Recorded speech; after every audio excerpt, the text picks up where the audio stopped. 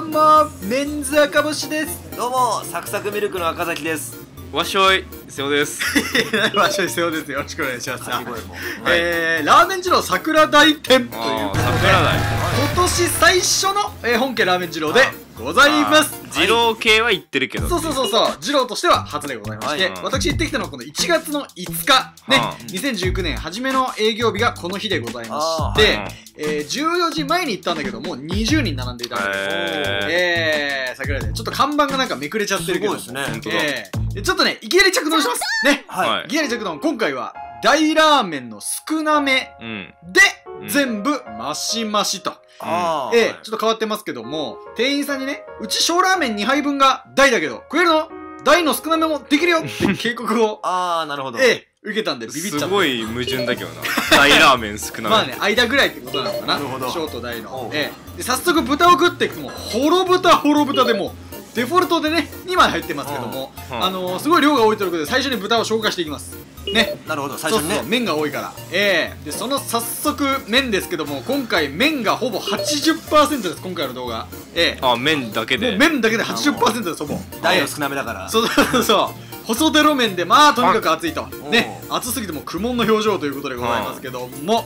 あの多めにまずはねこうちょっと引き出して冷ましていきます。まあ、天地返しみたいな感じで。いやそうそう。もうもうもうただ引き出してるだけでこの湯気でメガネがもう曇っちゃ片側だけだけどもうん。非常に曇っちゃうぐらいの暑さなんですね。というわけであここでそうしっかりとした天地返しをしています。え握力が少ないんで一気に引き出せません。それは知らないけど、ええ。20以下なんで握力。え マジで？はい。ー、マジで？マジなんですこれ。運動音痴なんで。剣道やってたんでしょ、えーあ剣道部の時もそれです。えはい。なのでクソ弱かったです僕ら。はないんだよそれ。弱かったんですよ。えー、ということでね油オイリー麺になりますよという麺でもございますが。えー、そこでね油を食べていきますけど今回は何もトッピングしてないんで油の存在は貴重ですが一発で終わっちゃいました。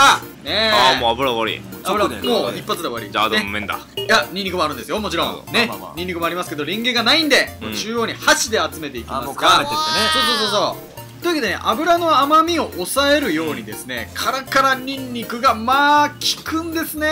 パクッと一ね口。そう。でニンニクのない側の方からまああの麺を引き出していくと、うん。まず最初のデフォの味が分かっておすすめでございますよ、ということでございますけども、スープ、うん。そう先ほども言いましたがレンゲございませんので器を豪快に飲んでいきますがお熱くても肩が上がっちゃう、うん。ね。えー、こういった乳化系のキリッとした FZ でございます。FZ です、うんね。そういうのね。醤油のそういうの。美味しそう。メーカーね、えー、そして詰め替えタイプのブレンド胡椒ですが、この度桜台はですね12周年を迎えましたんで、はい。えー、愛され瓶のためややいやピンが出にくい。瓶は12周年迎えてないでしょ いや初期からいたかいつもしれない。導入したか分かんないからね。変えてる可能性もある書いてる可能性ありますか？そうですか。まあ第二ずっと麺量凄まじいんで胡椒の味変は効果的。あっと、これは一体？何すかこれ。なんだ？あこれ。キャベツの芯です。ねあ。